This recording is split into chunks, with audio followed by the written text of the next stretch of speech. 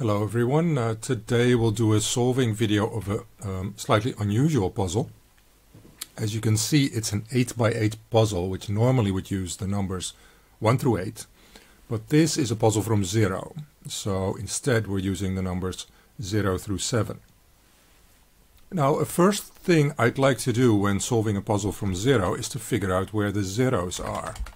I see uh, there are a couple uh, zeros given that one and this one. Uh, and I see these cages like this one, uh, 0 with the division symbol. Now 0 divided by a number or numbers is always 0. So I know this cage has a 0 and I also know it's in this row. But looking down a bit I see another uh, 0 division cage, so I know this one will have a 0. So therefore I know the actual zeros here. Looking at uh, another one, so this one is given, so I know there's a zero in this row, so therefore I know that the zero is there. Similarly, that one is given, so I know the zero is here. See if there are any others. Yes, uh, here there are two more, so I know this row has a zero, but therefore that one should be 0. So I already got 6 out of the 8 zeros. Here's a 7th, and there's an 8th somewhere. Now maybe let's fill in the numbers that are already given. And then look at the multiplication cages, because they uh, will not, I mean the ones that are left at least, will not have a 0. For example, this one, 10 times is 2 times 5.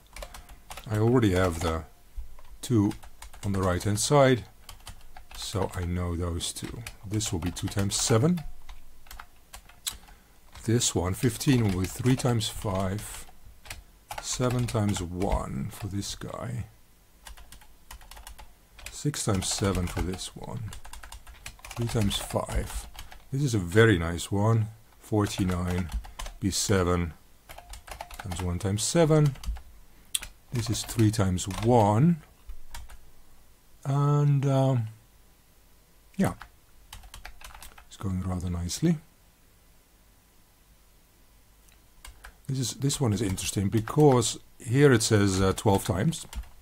So there will be either be 2 times 6 or 3 times 4. And this one here has uh, 72 times, which um, could either be 6 times 6 times 2, but that's clearly not possible because of the 2's, or 3 times 4 times 6. So now I realize that uh, the 5 is the only option for that cell.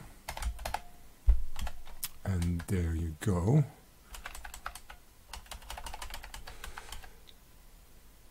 Here we have left a 1 and a 2 and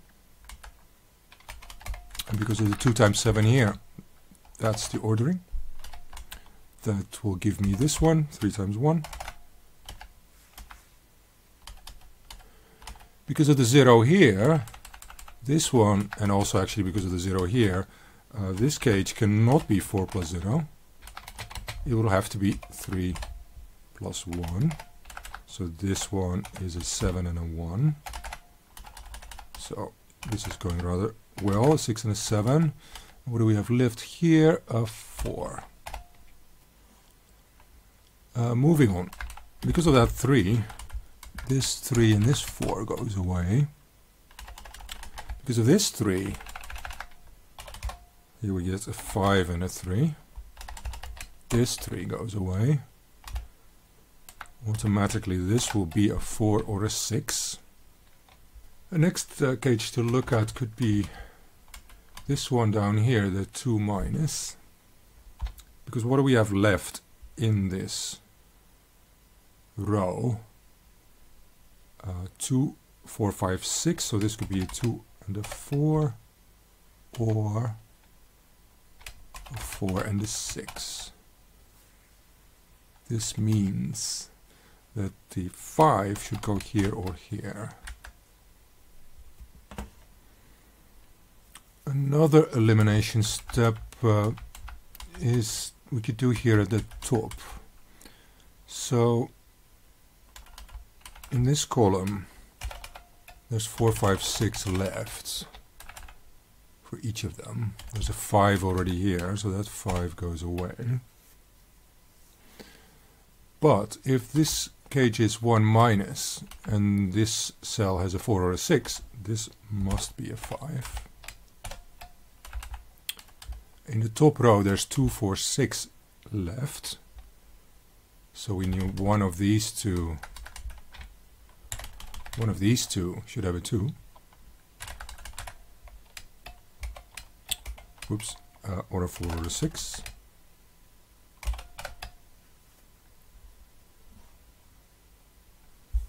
Looking at this 12 times and 72 times. So we're, we don't know yet if this is 4, 3 or 6, 2. But if it's 4, 3, then the other two will be 6, 2. And if it's 6, 2, the other one will be 4, 3. So these two cells will make 12 no matter what. Therefore, this must be a 6, because 6 times 12 is 72, and this must be a 4. Um, oh, interestingly, I missed, uh, I also missed that there's a 2 here and a 2 here. So I already knew this would be 4, 3, and now because of that 4, I know the ordering. So I know these will actually be 6, 2.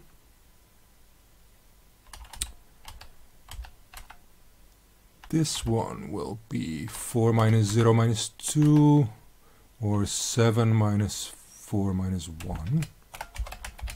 That's the one that works. 7 and a 1. Now looking maybe at this 9 plus cage in the top middle. If this is a 6, this is either 6, uh, 3, 0, for example like this, or 621, which clearly isn't possible. So it can't be a 6, it has to be a 4 or a 2. Moving down to the third row, let's see where the 5 goes. Well, here's 4, 6, 2, 6, 2, 7. So the 5 has to go here, here, or here.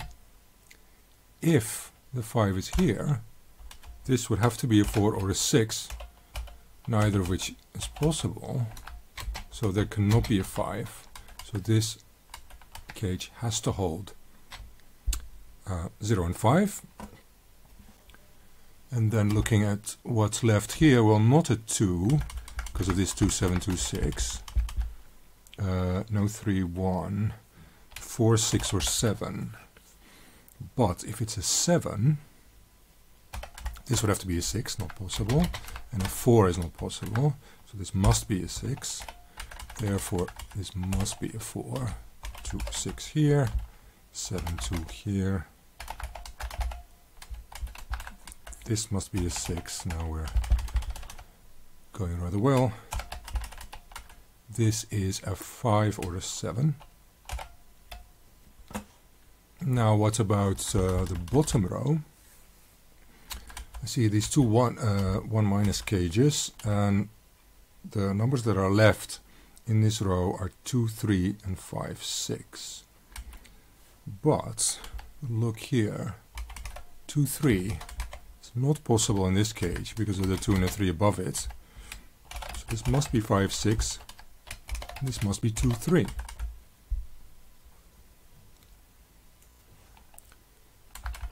Going up again, look at what's left here for this 9 plus cage. So in this row I have left 3, 4 and 7. Clearly can't be 7 because of the 7 here and it would have to be 7 plus 1 plus 1. So this must be 3 and 4 in this ordering. Plus 2 makes 9. So this is a 4 and a 7 because those are just the numbers that are left. no 2 here, no 4 here. So this will become 6 and 4, 5 and 6, 0, 5. Uh, let's see what's left here. A 1 and a 0. Interesting, there's the last 0. For a moment I thought a 1 and a 2, but of course this puzzle is from 0, 5, 3, we're now filling out, uh, we're filling in the rest of the puzzle. 13 must be 6 and 7, 2, 3, 5, 2. Alright, that's great. Uh, this was, I think this was an interesting puzzle. Some of the steps, I mean, it, it, it they seemed all um, natural and logical, but finding them was sometimes was sometimes tricky. I hope you um, enjoy this uh, and let me know what other puzzles you'd like to see solved in the comments. Thanks a lot.